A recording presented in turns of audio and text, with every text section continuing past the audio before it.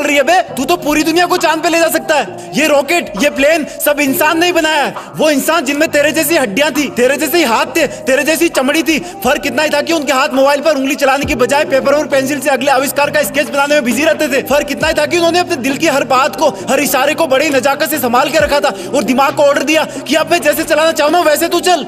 जब मैं कहूँ तब सोना है तुझे। जब मैं कहूँ तब सोचना है। जब मैं कहूँ तब तुझे सोचना बंद भी करना है। तुझे ये भी कंट्रोल करना है कि तुझे कहाँ सोचना और कहाँ नहीं सोचना। लोगों को छोड़ दे यार। वो ऐसे ही बैठे रहेंगे। या तो उन्होंने सब कुछ पा लिया या वो कुछ पाना नहीं चाहते। पर तू तो अलग है ना सबसे। तू तो कुछ अलग करना चाहता है ना। तू तो नाम कमाना चाहता है ना। तू तो सपने पूरे करना चाहता है ना। तो सुन, लोगों का वेट मत कर। सही वक्त यही है। उठ और किताब पे लग जा। अभी इसी पर उठ और लग जा अपने काम पर, अपने सपनों पर। तुझे कॉन्फिडेंस नहीं है ना। तुझे लगता है कि तू ज़रूरत से ज़्यादा बड़ा सपना देख रहा है। तो सुन, मैं तुझ दाम लगाता हूँ। मुझसे लिखवा ले कि तेरा सपना इतना भी मुश्किल नहीं है जितना तू सोच रहा है। अगर तू इतने बड़े सपने देखने की हिम्मत रखता है तो उनको पूरा करने की भी रखता है। टाइम लगे तो लगने देना, कोई फ़र्क नहीं पड़ता। लोग कहे तो कहने देना कोई फ़र्क नहीं पड़ता। तेरी बॉडी कहे की सोना है तो मत सोना। कोई फ़र्क नहीं पड़ता। दस बारह दिन में आदत पड़ जाएगी। और जिस दिन जिस दिन तुम्हें ऐसा लगने लगेगी, यार, ये रात क्यों होती है? मैं रुक क्यों जाता हूँ? मुझे तो